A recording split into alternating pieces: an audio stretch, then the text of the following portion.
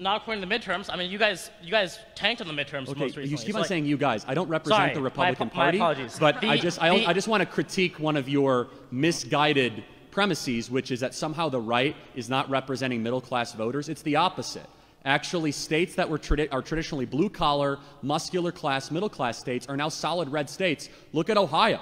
Ohio is a state that used to be far left and now it's more in the right direction. So, what is the right actually doing about it? To answer your question, a couple things. We're rejecting neoliberalism. Like, how about this? We shouldn't send $200 billion to Ukraine and we should instead represent our own people and close our own border. What's up YouTube? Hope you guys are feeling good. Today guys, we're back here with a new video. Today we're going to be checking out Charlie Kirk. According to Charlie Kirk, like kicking people's ass.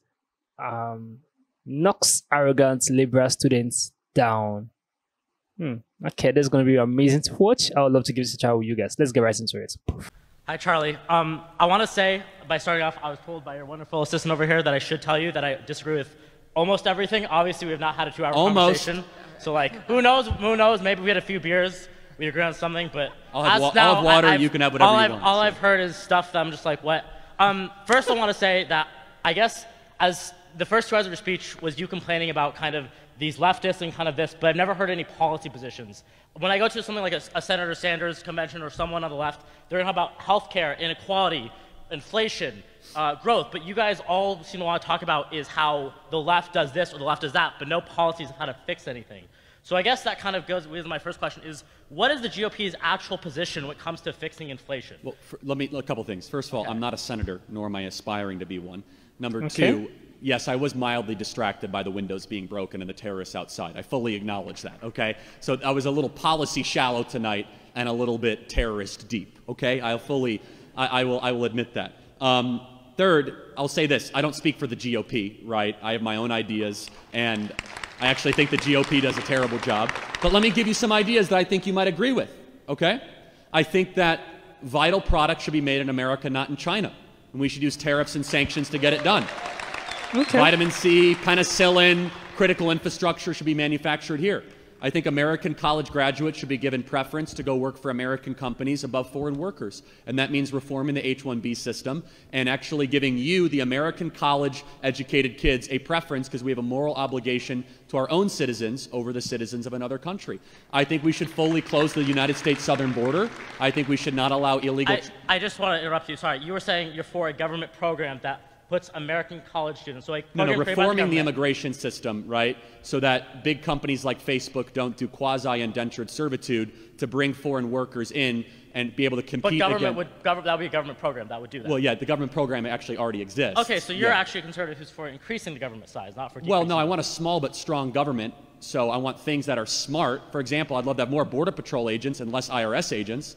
So where it makes sense to increase the volume of government agents, as long as it is pursuing a couple things that are core to my philosophy. A strong country that has borders, sovereignty, culture, and maintains a moral commitment to its citizens that you should be able to work hard, play by the rules, be able to have a family, own a home, and see rising income and wages. Those are very basic things in a social contract. Why is the increasing IRS agents, which are taxes that belong to uh, us, they help pay for things like roads, GPS, infrastructure, basic things They- that they you and yourself for needed to get here. yeah, why so- would that be against? Why would that be so bad? Having everyone pay their fair share of taxes so we can have a government that functions correctly. Well, for- Obviously, government does work for everything, but we all benefit from government services every day. The uh, I'm sorry, services- no one in this room is going to benefit from 87,000 new IRS agents. Instead, those 87,000 new IRS agents are going to be deployed against small business owners. But I could keep on going with policy examples. I can keep on building it out. But let me just say this I love markets. But I'm willing to critique markets when I think they're not serving people and they're not serving the nation. I think our overindulgence in free trade fanaticism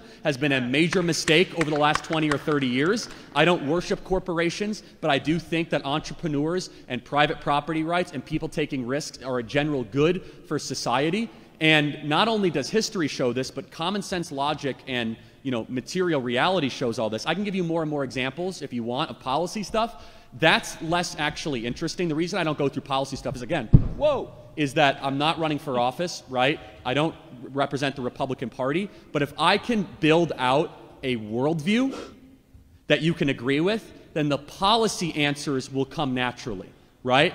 So if you understand morals and values, then you could answer the next I guess for 1,000 me as a policy student, questions. I care a lot more about policy than what people say. Like, like what government does is a lot more important to me, and that's why I was confused why your speech was not about policy. Because again, I'm But not anyway, running for office. I want to ask one more question so- before I go. Um, I guess for us, there used to be a thing called the middle class, or the idea of a growing and strong middle class. Yep. And I feel like for the past 10 years, especially on the right, maybe on the left too, for the more neoliberal left, but the right, that idea is kind of shrunken. I don't think there's a lot of talk of middle class. Do you view income inequality as a problem? I totally and disagree. Income inequality, I want to So- say income inequality being the difference between Let me ask you though. and I. I have a question. Why is it that the wealthiest counties in America all vote on the left? Because that's where all the how money works and how capitalism works is how all where all the wealth is where all the people want to be. But like so, Silicon Valley is all the jobs wh- and all that why stuff. do they vote liberal then if the left, Well, what in what ways they vote liberal? Not on taxes, not on For- things that I am they for. They vote for Joe Biden, they vote for socially they're Nancy left, Pelosi. They're, they're So- socially left, but they're not economically left. Believe me, I've if you go to the Bay Area, they are very economically right. Dianne Feinstein is not left, in my opinion. So it's it may be left socially, but I don't think they're left in my point of view. Yeah, but so, So- then let me ask you then why is it that the muscular class in America has shifted right over the last seven years? Not according to the midterms. I mean, you guys you guys tanked in the midterms Okay, most recently. you keep So, on like- saying you guys. I don't represent Sorry, the my Republican my Party, apologies. but I just I, the- I just want to critique one of your misguided premises, which is that somehow the right is not representing middle class voters. It's the opposite. Actually, states that were tradi- are traditionally blue collar, muscular class, middle class states are now solid red states. Look at Ohio. Ohio is a state that used to be far left and now it's more in the right direction. So, what is the right actually doing about it? To answer your question, a couple things. We're rejecting neoliberalism. Like, how about this? We shouldn't send $200 billion to Ukraine and we should instead represent our own people and close our own border. That's number one. Number two, Number two is that we should be unafraid to use tariffs and sanctions to say that critical infrastructure and things that matter should be made here in America. Whether the, the delusion on the left, and I just want to challenge you on mm-hmm. this, is that the left has a bunch of people that talk a good game, AOC and Bernie Sanders and Joe Biden, but when it really matters, they're nothing more than neoliberal shills that are willing hmm. to invade other countries, hmm. invite them into our country, and then lie to their voters under the veneer of social liberalism. The populist movement in America that represents real people, muscular class teachers, police officers, and firefighters, it lives on the American right because we listen to our constituents and we're willing to fight for ideas like tariffs, sanctions, closed border, and no more money to Ukraine. The left is shilling for all those things. Thank you for being here tonight. I appreciate it. Got to the, ne- getting to the next one. Thank you. Can I just ask, is, is, is the difference between the mean and the median income Uh, there- inequality, there's is that a problem 50 to you guys? people in line. difference between income Thank you. Is that Uh, income inequality is a big issue, which is exactly why I support the things that I said. Next question. Okay, it was really amazing to watch this video. Um, number one, Charlie was upset. You can see it in his face. He was kind of upset with, with the man who was talking. He was kind of upset as if the man was trying to put him in a in a tight corner. But at the same time, the guy was a bit arrogant. Uh, that that be said, that is true. He was a bit arrogant. But Charlie really like knocked him out, telling him, I, I, "I'm not a senator. Neither am am I in any political party or I'm not joined to any political aspects. Uh, I'm just doing what I'm doing.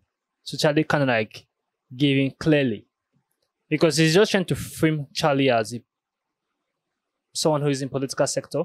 So, but Charlie to like, no, no, no, no, don't frame me that way. Stop using them, you guys, because the way he was referring Charlie as. So Charlie was making some points like there are some of our good, there are some goods in America that should not be made in China. Some vital products that should not be made in China, but they should be made in America.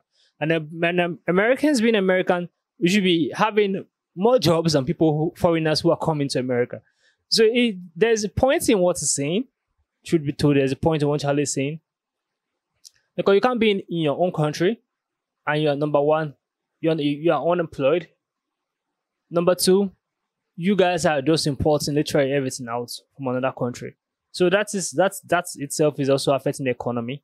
So Charlie is making a lot of points right here. Though he's not a senator or he's not aspiring to be one, but he's making a loud point. But the guy right here trying to like put Charlie in a, in a corner to trick him.